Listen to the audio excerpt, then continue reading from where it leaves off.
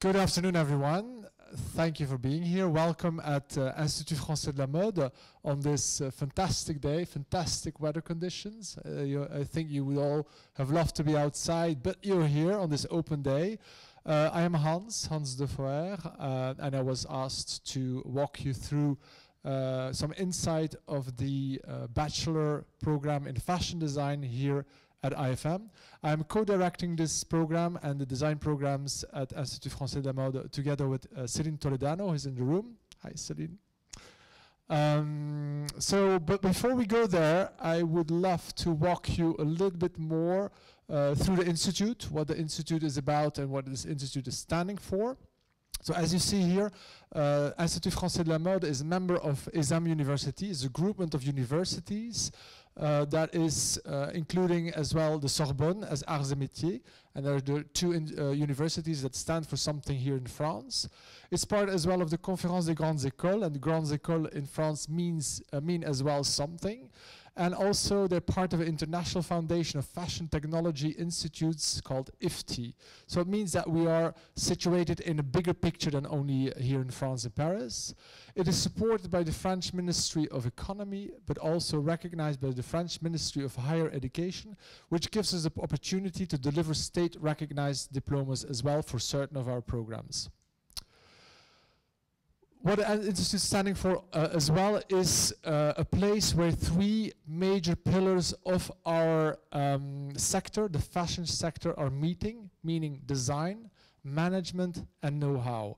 These are the three pillars that are actually making our sector, and students of these three directions are actually sitting in the Institute and working together through their curriculums. Now, what else do we offer?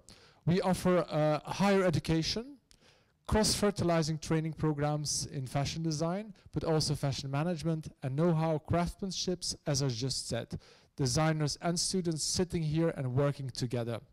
We are overmore a training center for apprentices.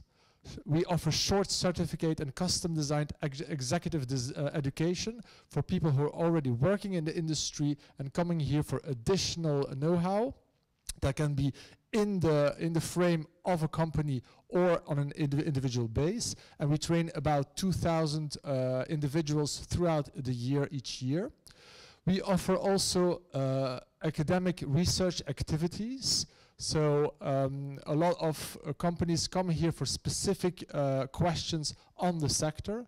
We have an economic observatory where this, the French uh, economy, uh, the, the French uh, government of economy is coming for specific studies on the fashion sector as well.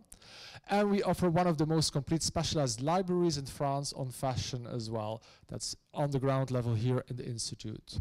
What else do we offer? We offer a very strategic location, knowing that we're in the very heart of the global capital of fashion, meaning Paris. Um, I think world, worldwide and globally, it's accepted now that Paris, which was the crib of fashion many moons ago, is today the, the, the capital of fashion worldwide, um, housing also one of the most, the, actually the most important uh, fashion week in the world. And that gives us an easy access to partner companies and their international headquarters which you can see on the map here. You see Institut Français de la Mode, and then you see a couple of our partners where they're situated, situated in Paris, and where a lot of our alumni are working today. What else do we offer? We offer international recognition as the Business of Fashion in 2017 ranking outcome uh, positioned as first worldwide fashion business master programs and second worldwide fashion design masters programs um, in the world, which is definitely a very important position for us. What else do we offer? We offer new school and new premises as well. Like by autumn 2020, we will have an 8,000 square meters campus in this very building. Now in that for the moment we occupy about a fifth of the building. By 200, 2020, we'll occupy the whole building, offering studios, workshops, fab labs, do-it-yourself workshops, knit workshops, a leather workshop, photo studio, and many, many things more for designers to be able to express themselves fully through their studies here at the Institute.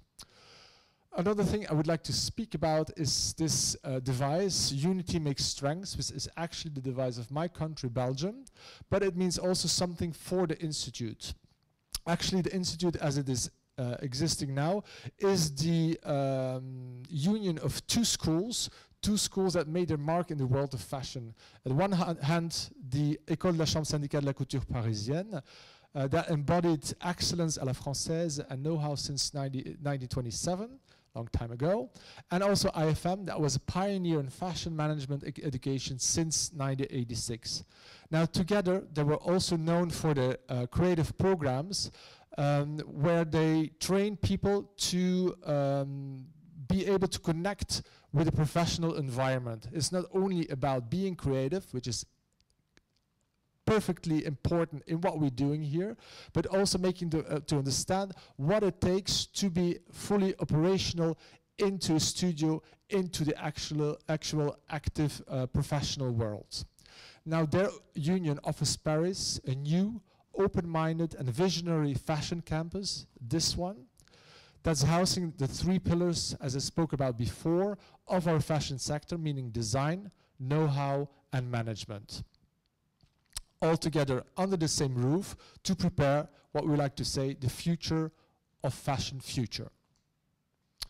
Another thing I would like to speak about is this. It's a quote of Pierre Bergé. Pierre Bergé, who was the uh, uh, fashion partner, was the business partner of uh, Yves Saint Laurent, who was our president uh, since 1986, since IFM existed, till he passed away last year. And he quite often said this. Each year he came in and spoke to our students here at, uh, at the Institute, explaining them what, it, uh, what the success of Yves Saint Laurent was about. And so quite often he said creativity is the key. Creativity is actually what makes garments become fashion. And I think it's something that we have to keep in mind. Be, be, without creativity, this is not existing. Fashion would just be garments. And it's not only on the design part where creativity is important, it's also on the know-how where it is important, but also on the management. Everything has to be with this creative take on things. Now, on, on this quote, I like to quote myself as well, because quite often I say that creativity is like a muscle. The more you train it, the stronger it gets. And that's what we stand for here uh, at the Institute as well a little bit more about the design programs. Uh, we we um, organize the, the, existing programs to international standards, meaning that we uh, set up a three years bachelor's bachelor's program in fashion design and a two years of master's program in design. A bit more about the bachelor. We wanted we wanted it generalist, so more um, like it would be in, in, in medicine, starting with more uh, general know-how on uh, what the, uh, the sector is about, and then being able to specialize further on the years and even more in the master programs. So we offer already specializations and discoveries or options throughout the three, the three years, starting from the end of the first year. And the, these programs are uh, delivered uh, in French as well as in English. So depending on, their, on your um, language know-how, know it will be or in French or in English. And we deliver also French or English courses towards your needs. Now, these programs are based on the best practice of both school design programs, so what we did before, but reorganized and re-amended to uh, current standards and current needs, what a designer needs today to become fully professional in the sector and it's enriched with experience of an extended pedagogical team of active professional designers. And that's very important as well. Our teacher team is also working industry. As we are working in a very uh, fast-moving industry, it's important for us that we can adjust our pedagogy to the needs of the sector from year to year. A bit more now uh, about the Bachelor of Arts in Fashion Design on the signature academic approach. Now, we like to say that our program is a studio. It's compared to how a studio is working in the sector, but also a couture atelier or a laboratory, laboratory for research. It's where young designers are invited to learn the ropes, conduct experiments, and question the art practice, where craftsmanship meets imagination and intuition meets concept. We will speak about sustainability, social awareness and technology matters as well because that's what our sector is aiming for today. And we offer an extended toolbox um, in what we're setting up in the studios and the workshops, sewing rooms, as I said, workshops, fab labs as well, with mid or high tech, also, also low tech and do it yourself. Um, computer assisted design rooms as well, machine and industrial knitting room, leather goods and shoe workshops for you, for designers to make it possible to deliver or to work out all the projects. If I go a bit more deep in uh, the three years of the bachelor program, the first year is about shaping and open-mindedness. Uh, mindedness, sorry. It's the foundation of what we want to teach our students. It's on experimentation, discovering the creative, creative si signature, and as I said before, learning the ropes. We're gonna approach the different body types, the human body, but also the cloth, the clothes, clothing bodies as we call them, but also the textiles, textile bodies and how a drape would fall and all that. Uh, the materials are important in there, but also the basics of sewing, pattern making, uh, molding and assembly techniques, all the, the, the, elements you need for your designs to become, in the end, garments, silhouettes, a full fashion collection. We going to um, stress also upon the practice of drawing in all its forms because drawing is a very important medium in our sector, in our businesses to express what you want, what you plan, what you project for other people to understand. I quite often say that people are not in the, hand, in the head of a designer, but we have to let people in there. And to be able to communicate as, as quick and as efficient as possible, drawing is very important in there. At the end of the year, at the end of year one, each student will have the opportunity to discover knitwear as a potential specialization as well. Hello, hello, hello. Uh, let's move on to the second year where we're going to work on consolidation and developing. Um, based on the, the, fundamentals of year one, we're going to enhance that to start to cultivate a more personal language and writing for designers to be able to start to express themselves with what they have in their soul, in their mind as well. Thinking more in, in terms of a silhouette and start a wardrobe, see it a bit larger than just one piece, how it's all connected and working together. Continuing to consolidate techniques, developing the creative universe, um, pushing you to do deeper research, if it's cultural and, so, uh, and uh, social issues as well. Find inspiration for your writing, we uh, worked a lot in enhancing the cultural part of the program, um, seeing fashion in a broader frame, I would say, with arts, music, and news, fashion news. Learn to create links between the different skills that you acquired. How is this all connected, and how are you expressing that with what you learned and with what you want to say? Uh, creating images and stage them as well based on your creative production. How are you going to communicate through images and through um, showing them to a certain public? Make and give sense is what is the sense behind your design as well? How do you want once again to communicate that? And then in year two students will start to specialize in knit knitwear or creative pattern making or leather goods or accessories, which gives them the opportunity to already have a fuller take on things on fashion as well. At the end of year two, there, but we'll come back to that afterwards as well. Uh, you're expected to, to do a two months internship with a studio or an atelier in France or abroad that allow you to experience styling, pattern making, and design, putting yourself already in a, a more professional environment right away. So, uh, yeah, here we have a list of names everybody knows, so we want you to become one of them afterwards as well. Getting to year three, where all this will take even more sense, where it's about conceptualization and fulfillment, you will start and assert your creative signature through craft, stylistic choices, casting, location, and also an audience. Now this becomes really serious you will develop the notion of a silhouette completely through a full collection project. That will be your final project of the bachelor. You will have to translate and divert your technical skills for creative purposes. Now, how are you going to apply what you know to a full collection.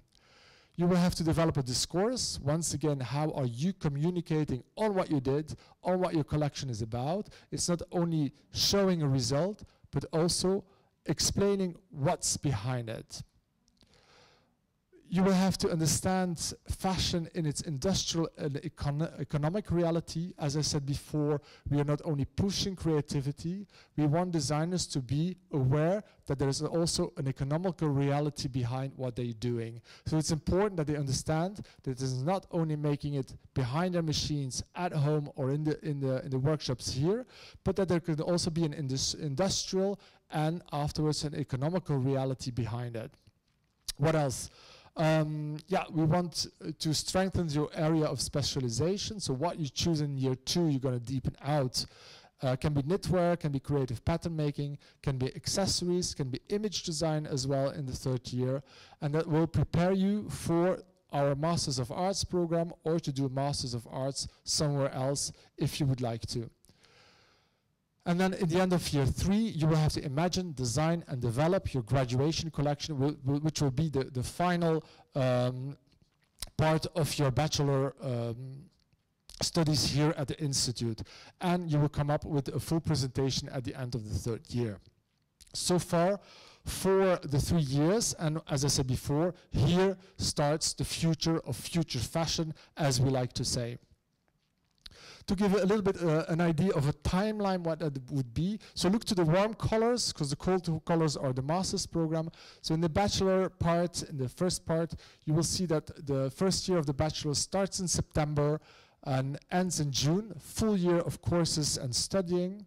While in year two, it starts in September, but ended, ends sorry, in April, where it's followed by uh, your two months of internship, and you will have about uh, four or five months to run that internship. So you can start in May, May, June or June, July. August, not that much is happening here in France, but it can also be Jul July or September, depending on what kind of internship you find out. It can be more, it can be three months, it can be four months, it can be five months, depending on what you, you, you find and get. The idea is that you run at least two months of internship in between year two and three. And then for year three, you'll see that uh, that starts in October because we give uh, designers the opportunity to work on uh, ready-to-wear collections that are actually uh, um, presented or shown uh, in the very beginning of October. So it starts in October.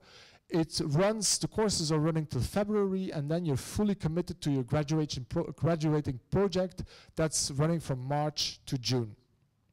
So far for the timeline. Now at the end, it's written here again, at the end of year three, so end of June, beginning of July, there's a public presentation or a fashion show during the Parisian Fashion Week. A bit about the workload. We have quite some questions each year about that. How much do we have to work and, and how is it working? So we try to condense our courses in uh, four days, three days and a half, four days a week. In uh, Bachelor 1, there's about 34% of design, 37% of technique, and 14% of culture. In year two, we have 54% of design, 30% of technique, and 12% of culture. In uh, Bachelor 3, there's 39% of design, there's 40% of technique and 11% of culture. Now, for those who are very good in mathematics, they'll find out that it's not 100% because that, that leaves us a little bit of room for what we like to call soft skills or what we call soft skills, meaning how are you positioning yourself in this um, in this sector, in this fashion environment, especially here in Paris, how you approach that, how you position yourself, how you uh, behave yourself in there for you to be as professional as possible, as ready as possible to find jobs or internships in the sector afterwards. Important in here to say as well that we work a lot in partnerships. Uh, we have a lot of exchanges with renowned fashion houses. People come in and out here for conferences, lecturers, uh, sometimes also to work with you on your projects or to have a view on your projects throughout your um, different courses. A lot of guest lecturers, teachers that are from and working in renowned fashion houses as well. Remember what I said in the beginning, we expect our teacher team to be working alongside as well in the sector for for us and for them to be as, as aware as possible on how things are fast changing and fast moving. And then we have also cultural partnerships with, for instance, the Centre National de la Danse, uh, the, the, the National Dance Center, if I translate it quickly, the Palais de Tokyo, which is about contemporary art, La Cinémathèque Française, about cinema, or La Station, for instance, for contemporary music. All these elements uh, offer our designers the possibility to um, extend their inspiration, to extend their, their know-how on what's actually happening outside, for them to be, inspired with the, the zeitgeist, but also with what's happening in other cultural or um, artistic domains outside of fashion.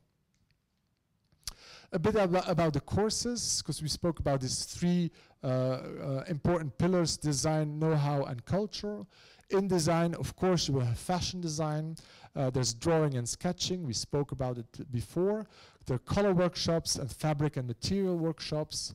Then in the know-how, dependent of it, we have pattern making, draping, color classes, more theoretical, fabric and material classes, once again more theoretical, but also languages. I spoke about that for the French-speaking people, there will be English uh, courses, and for the uh, English-speaking people, there will be French courses. Uh, mainly for um, designers to be as, once again, as ready as possible to be able to attend an international studio.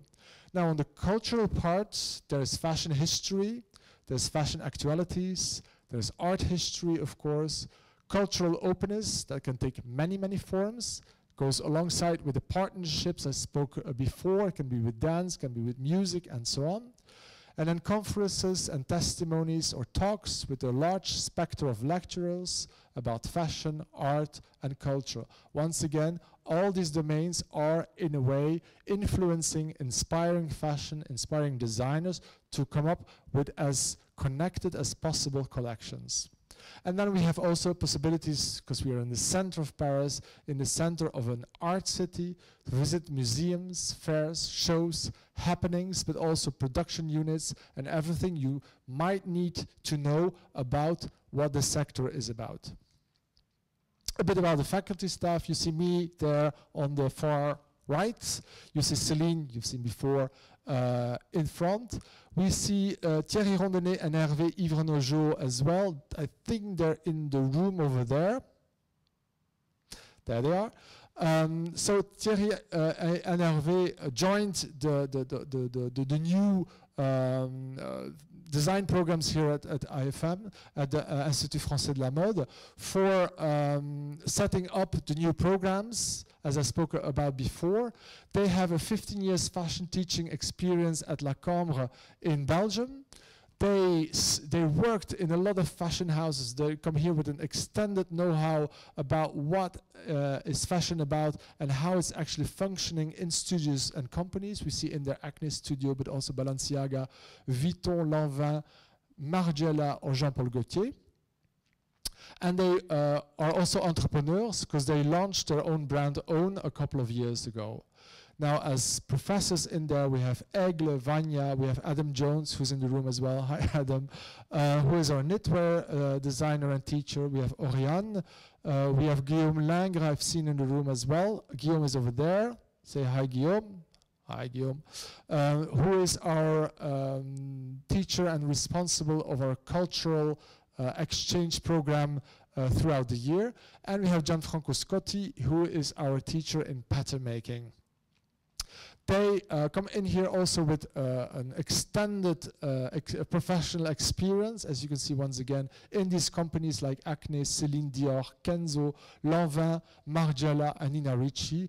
Uh, as I said, with a lot of um, um, professional experience, they at one point were willing to transmit to young designers so far for the moment for the faculty staff. Yes, you will have the opportunity to meet them afterwards. They will be in the design rooms on the ground level here or upstairs where you can uh, meet them for one-to-one -one sessions or go deeper in your questions if you want. After this presentation, we will have also a question and answer session for those who want to ask some more global questions. I will be happy to answer them. Uh, yeah, another question that comes up quite uh, often on this open day is the recruitment process. How is this all going? So I would like uh, to walk you through that as well. What we require from, from a designer who wants to study here in the bachelor program is to be graduates from high school, even if there are options for exceptions people who would not have their degree but would be, have an excellent portfolio, we would be happy to take them in. Has to be discussed, of course. They have to be passionate about fashion. Sounds evident, but still I wanted to highlight that. Um, a foundation course is a plus, but is not mandatory because I have quite often that question. So people who did foundation courses, it's an asset, but it's not mandatory and they have to be fluent in or French or English as the courses are delivered or in French or in English. Knowing once again the languages courses that will offer the possibility for French speaking people to learn English and for English speaking, speaking people to learn French.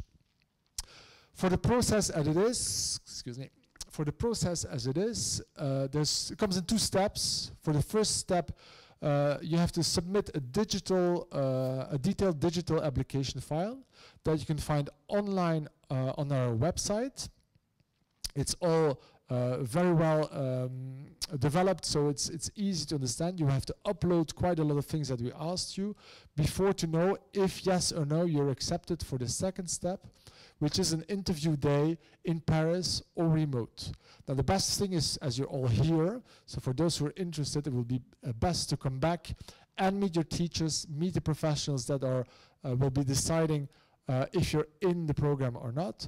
Or for those who cannot come back to Paris or who, or who are abroad, there's a possibility to do that remote through a video conference afterwards in there, in the digital application file, we ask you for uh, an extract of your portfolio.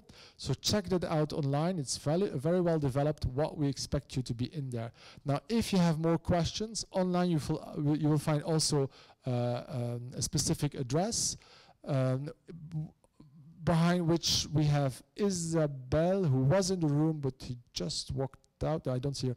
So Isabel is the person behind the uh, the um, the the uh, online address who can answer all your questions if you want. So don't hesitate to drop her a line and ask your question.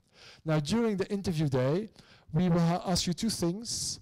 Uh, there are two assignments, a 2D and a 3D assignment, nothing digital. 2D means drawing or uh, express yourself through a medium that you uh, that you choose, meaning drawing or, or, or pencils or or uh, or whatever you want to use to express yourself through drawing, and also a 3D assignment. So something it's a secret, something we will ask you to make in volume to be able to show to the jury members. It's more something to get your creative approach than uh, something that is actually uh, uh, judgmental. And afterwards, and that's even more important, you will have an interview with your teachers and with fashion professionals who will cook you a little bit to know what's behind your, your decision to join the institute. And based on these outcomes, we will decide if yes or no you will start the program in September. Once again, I will be back at you afterwards for questions, if any a bit more about careers. That's very important as well, and it's very important for parents, I think, I guess. Uh, careers are very important for us because we are not only training uh, designers for their creativity to become creative people, but we aim also for them to find a job and to make a career. Now, um, we have a list of careers or positions uh, to which the Bachelor in Fashion Design, Bachelor of Arts in Fashion Design typically, typically leads to. Uh, people become designer in fashion studios for men or women's ready-to-wear, or luxury, or even haute couture, but sometimes, sometimes even in high street. It's depending on, on the, the sensibility of the person or what they want to do in the end. They can become a de in leather goods, small leather goods, shoes, accessories, leather accessories, or textile accessories, depending on their sensibility as well. Or if they choose for a specific spe specialization like knitwear, they can become knitwear designers or programmers or knitwear developers as well. Um, or if they specialize in pattern making, they can become modelists or pattern makers. They can become managers of pattern workshops, depending once again on their skills, their know-how, and their sensibility. They can become research and development managers as well, if that is what they want to go for. Or they, they can become design directors, creative directors, or who knows, even artistic directors in uh, world, uh, uh, world-known fashion houses here in Paris or abroad. Another important thing in there, behind the career, we have career advice and coaching. And I think we are one of the only schools in the world, if not the only, that has a, a four people, a full career team of four people that is actually uh, um, assisting our designers and our students to uh, find jobs, to find uh, internships and even following them up throughout their careers. Now they work on company presentations, Comp companies come in and present themselves, uh, present the careers they're offering, presenting the, the jobs they're offering or the positions they, they might have. Uh, they are done by HR professionals or the operational staff or also alumni we have a very, very important um, alumni network, thousands of people who are actually working in fashion houses, who give gives us, but also young designers, an easy access to, to know what is happening in the fashion houses. And then they have an intensive individual coaching on uh, the definition of their creative identity, which is actually with the design teachers, but also assist assistance in CV writing and port portfolio preparation, also on interview coaching and uh, individual follow-ups throughout their courses, throughout the years, but also afterwards, once they're graduated or once they're uh, a lot of uh, alumni pop in every two year, two three years, I would say, to have a checkup to see how the portfolio is going and what they aim for as kind of job jobs afterwards. As I said, active supports in the search of internships and also an access to an extensive database of jobs and internship offers. A lot of companies ask us to uh, post their offers so they can have a direct contact with our designers or students. A bit more about the internship. I spoke about it a bit before, but let's go through it again. So mandatory two months internship between year two and year three of the program. An optional, yeah, so I didn't speak about that, but there's an optional six months internship that's covered with paperwork after year three. For people who would not want to continue for a master's program, it gives them the opportunity to start a professional uh, career. Uh, or for people who want to uh, take a break in between bachelor and master's degree, we offer, the, offer them the possibility to go for an internship. Now that six month of internship is not mandatory to obtain the diploma just to, to make that difference clear. Once again, our students are running internship in fashion companies such as, and here you see the whole list, but there are even more, and you see a lot of renowned uh, Parisian or international fashion houses in this list where people currently actually are running their internships. Costs, quite important as well. Of course, all this comes with a cost.